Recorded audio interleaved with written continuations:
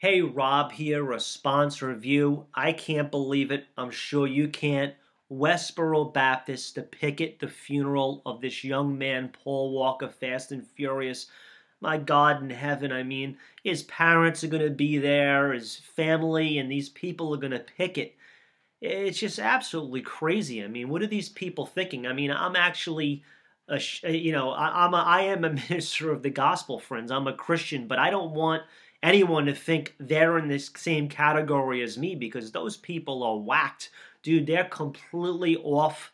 I don't know what Bible they're reading. I don't know what gospel they're preaching. This is not the gospel of Jesus Christ. This is not the message of the Word of God, the Bible. I mean, God predominantly came because of love. Christ willingly came and allowed himself to take our place what we deserved to be on the cross. Jesus did it out of love, mercy, compassion, kindness.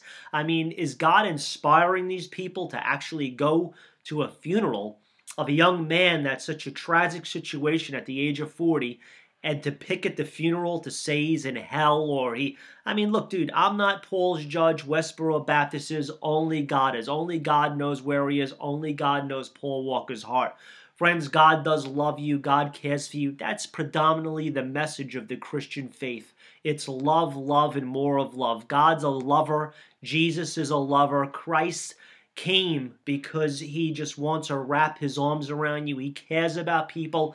Jesus was a friend of sinners. They actually accused him at one point, saying he must be sinning because he's hanging out with sinners.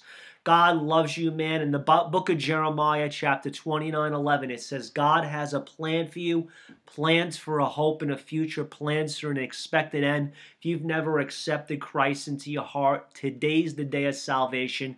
You want to recite a simple prayer after me. Say, Jesus, Thank you for dying on the cross of my sins. Thank you for being my Lord and Savior. If you believe Westboro Baptist is completely off and whacked, hit the like button. I'm actually ashamed that they are calling themselves of the Christian faith. It's so embarrassing and ridiculous at this point, and they're just completely their motives are completely erroneous.